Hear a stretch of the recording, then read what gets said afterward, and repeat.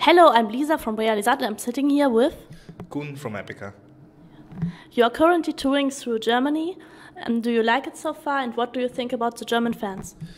Uh, so far it's been great. We did three shows, uh, one in Bochum, in Hamburg and in Berlin. And two of those were sold out, tonight Leipzig and yeah, for us Germany is getting better and better. More fans coming, uh, bigger parties, so it's it's good. Did you see anything about the country to this moment?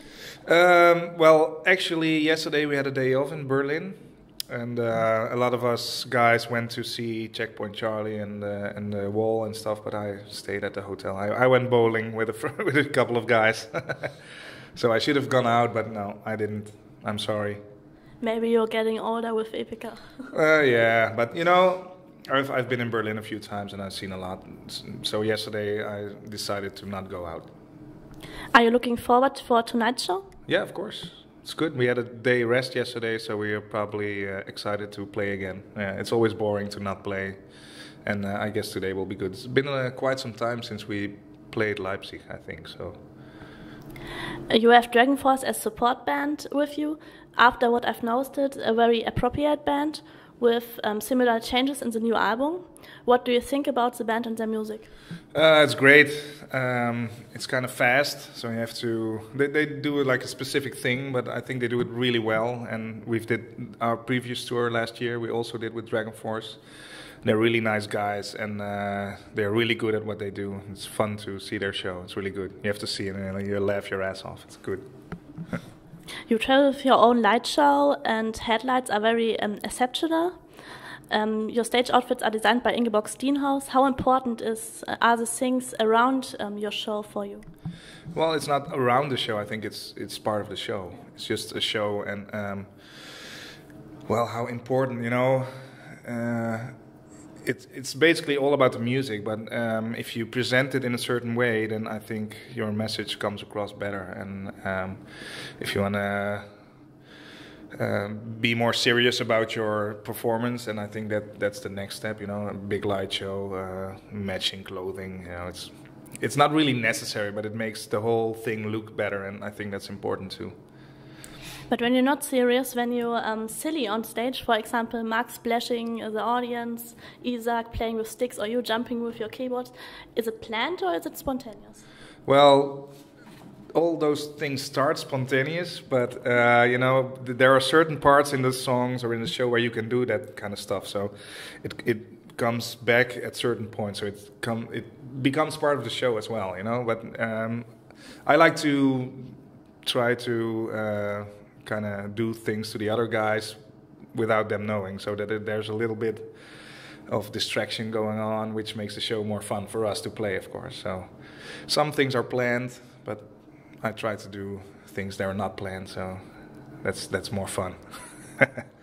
and of course, I think it's very um, nice for you to have this. Um, this portable keys um, mm on some songs so that you can move a little bit more. Yeah, it makes me it makes me able to walk around stage, and that's that's really for for a keyboard player, it's fun. Yeah.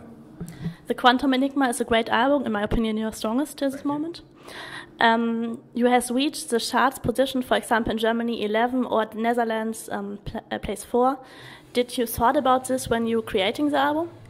Well, that's not that's not a goal from us, and I think uh, nowadays also the music industry works totally different. So I don't know what what the numbers are worth, but it's always good that uh, to see that a lot of people want to have your music and buy it, and so you get chart positions. It's it's not our main goal. We just want to make the music, and um, of course, it's really awesome that a lot of people like it. But it's not that we think, oh, we have to be that position, otherwise it's worse than last time. So.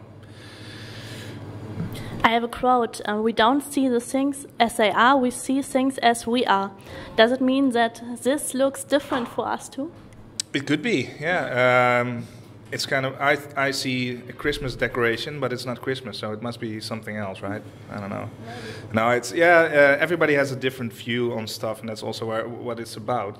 And it's actually scientifically proven that if you look at certain things, they behave differently than when you don't look at certain things. And that's the quantum enigma. So they don't know why, but it just happens. So if I look for instance, at uh, Naked Belgian Dudes, then uh, you can. S- I see them, but maybe you see something else. You know, it's kind of weird. It's an enigma. It's an enigma, yeah, and we and we're trying to solve it the best way we can. But if you look at your current fo- promo pictures, then Simone has real model qualities, and of course she made it into the Playboy. Um, did she? Farm on Fire with clothes, yes. Oh, I didn't know. I wanted to ask what you think about this. I didn't know But she you don't the Playboy. know. No, no, I didn't see those pictures. Very beautiful, but with clothes. No, no, no. God damn Yeah. Well, you know, nah. I, I didn't know she was, but you know, she's a gorgeous girl, and uh, she really knows her way around with the makeup and with the modeling. So that's you know the, her hobby besides Epica. She has this makeup blog and fashion stuff going on, and I'm a total fashion noob, so I don't know anything about it. But But I think you all uh, look good. Thank And in addition to musical talent, does um, looking good be an advantage or doesn't it matter in metal business? Um, I would be lying if I said it wouldn't matter at all. I think if you look at the bands that also in pop music, even more in pop music, if you look at the artists, they all look good. And I'm not. Uh, I don't say that I look good, but I think that uh, that we have Simone as a front woman uh, probably has a lot of people, a lot more people coming to the show because they only want to see her, you know. And I don't think it's a good reason, but I, I think it's fine that they come. Okay. Um, Simone told something about an extreme um, sports session on the last gig. Um, what sports do the band make to keep fit? well, uh, uh, I joined Isaac this tour. Uh, he's kind of like doing some workout stuff, uh, internet program. Uh, that he has to do stuff every day. It's, it's kind of what you can do around, you know. We brought some weights and we do some cardio and some exercise, but uh, it's actually going very well. It's the first tour that I can participate after four days. So, but we work out a little bit. Mark, he's really uh, he brought his bike, so whenever he can, he goes uh, and ride his bike all, all the way, or he runs. He runs outside, but we keep it inside and just do some weightlifting and. But it's just to, to stay in shape, not to look good on stage or anything. Yeah. because you drink a lot of beer, so you get fat, so you don't want to like compensate for it. Beer and chocomel. yeah, I don't do the chocomel. That's even worse than beer. Yeah. The Quantum Enigma is more than any other album of you a total work of art. Um, of course, you can hear it, but also see it, for example, in the yearbook. Many well known people worked on it. Will another, another project be as large as this? Well, yeah, you always try to top your own product, I think, and um, as we are more experienced every time, you, you have bigger and better ideas. So I think, of course, we're going to try to make an even better album, but also with better uh, artwork connections and better connections to the live show and stuff. It's all really hard to uh, plan it in advance. So it, eventually you're working on stuff and then there's another idea oh that would make it awesome and then you try to incorporate it but it's always already a little bit too late and you know so it's it's a fun process but it's a hard process but of course we're going to try to do our best to make better stuff again Yeah, it's little. Uh, it's a little bit hard to top this, I think. well yeah but that, that's what they said all the time or that's Yeah. that's that's a challenge every time you know when you make your debut album everybody says oh great album i hope the second album will be better. And now you know all the time people say i hope the second time the next album will be better. And you try to make it better but you never know. You never know. If you have to put the essence of the Quantum Enigma in one or a few sentences, what would you say? the essence of the quantum enigma. I don't know. That's that's i don't know. It's the matter of looking at something that can change your world so always keep an open mind to stuff.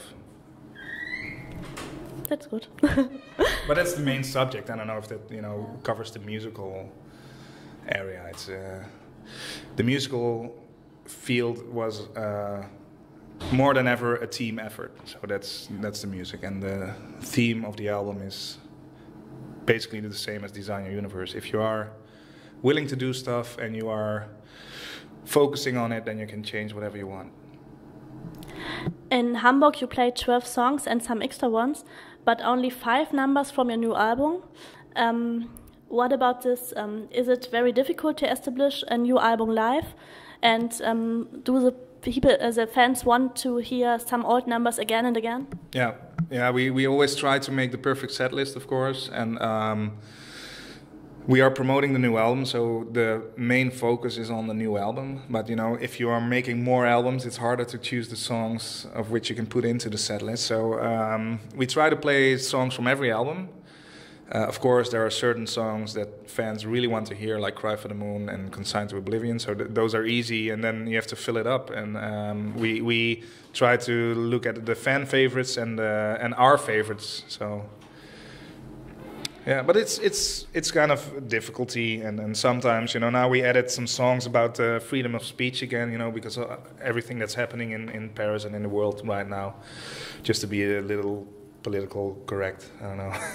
that would have been my next question because Fools and of Damnation and Martyr of the Free Word are songs about this, and it's a very current um, theme. How important is freedom of press and speech for you, and um, how dangerous is religious fanaticism? Uh, that's difficult questions. I, I, you know, I think uh, the, the discussion that should be held now is uh, not about the freedom of speech. Everybody uses the excuse of the freedom of speech to say whatever he wants, and I can say terrible things to you now, and you know, claim that I have the right to do that because I have the freedom of speech, and I, I don't think it's a good thing. I, you know, I don't need to harm you uh, just because I can. It's it's no use. And the same goes with uh, Islamic stuff or Christianity.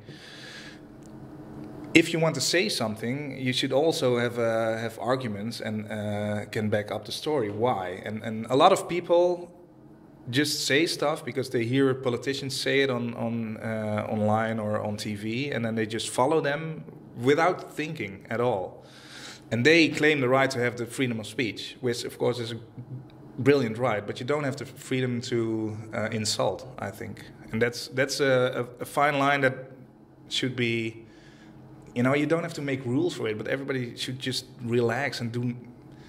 You know, be normal. Just don't fuck up everybody just because you want to. There's no need. You know, you get war, you get terrorist attacks. I can do without them. but yeah. What do you think about it? Because you're a journalist, so you, the freedom of speech is important. But yeah, I think it's uh, one of the important, most important rights uh, because we are in a democracy. That's very important. But I think I don't have to insult one like you too. Yeah, but also, you know, I, I'm terribly against religious fanaticism because it, I think no good comes from it. But um, and I'm also, you know, I'm, I'm, I'm not saying that that whatever this um, magazine printed uh, was a reason to kill them. But um, a lot of, you know, it goes now that everybody has to say something like Islam sucks. Everybody says it now because a few terrorists who happen to be uh, Muslims attacked the, the, the paper there. But that's not how it works. It's just you don't have to just say it because you can't say it. That's not freedom of speech in my book it's a very hard uh, hard to make a bridge now to go on. what was your best uh, moment with Epica till this moment?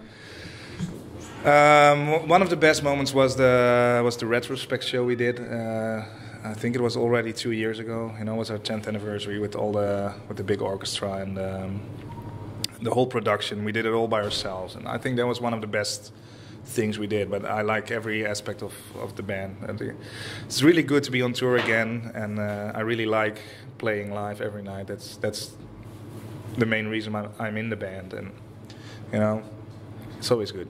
Do the people remember you since you cut off your hair? Yeah, I think so. There's some do, some don't, but it's it's okay. Do you have a funny story from backstage at last? Funny backstage story. Mm -hmm. Well, there was this day two days ago in Berlin, and we ended up in the bus with Diablo Boulevard, and they took all their clothes off somehow. And no details, please. no, uh, the, you know there are these pictures going around on, on, on Facebook what happens in the backstage, but it's all everybody's sitting there with their laptop and just you know uh, sending WhatsApps to their uh, loved ones, and it's practically super boring. So no, nothing actually happens backstage, really. Okay, um, do you have last words for the fans? Um, well, thank you very much for sticking to Epica, and um, I hope to see you at the show or some other shows. Keep on rocking. Thank you very much. Thank you.